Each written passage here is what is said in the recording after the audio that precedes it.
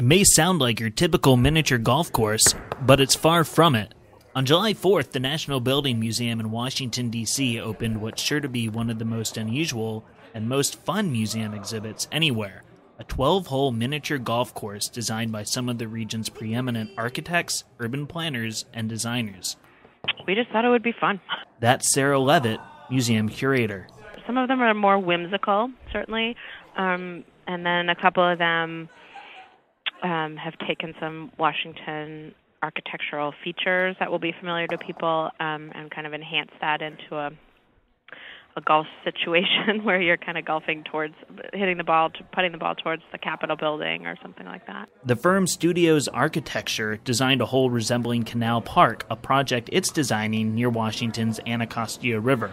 Associate Principal Ashton Allen explains. The hole itself uh, was kind of a, a perfect chance to both showcase that park and because the park is kind of a perfect miniature golf hole design, we were able to just build it. And we spent two weeks designing it as an office, coming up with ideas. Certainly, this wasn't the only project that we considered to do.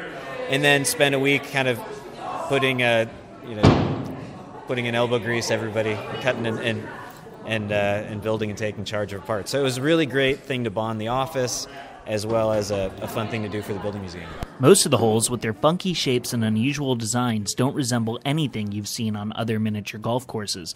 Scott Schlotthauer explains the hole designed by his firm, Skidmore, Owings, and Merrill. Uh, so the, the title of the hole is Confluence. Uh, what it is is a section of the Washington, D.C. If you can see on kind of this panel that it's a part of the L'Enfant original plan of Washington, D.C. We took that, uh, did an overlay with the current topographical data for the city, uh, creating these gradient charts for what the topography was, and then ran a script uh, through a computer program called Rhino that generated the different heights. So there's nine different heights of the, the extruded 2x2s and gave us a, a printout of how many of each length that we were going to need and then just slow assembly process of you know, pixel after pixel after pixel of getting it uh, built. A, a, little more thought into this than uh, just the, the windmill on. Uh... Yeah, yeah, quite a bit more.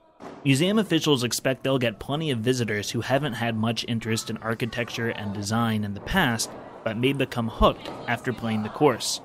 It's been gratifying and exciting, and I think um, you know not totally surprising since we were hoping that um, that people would really this this would spark their interest. Air conditioned mini golf, I mean that's great. This is Ryan Holeywell with Governing Magazine.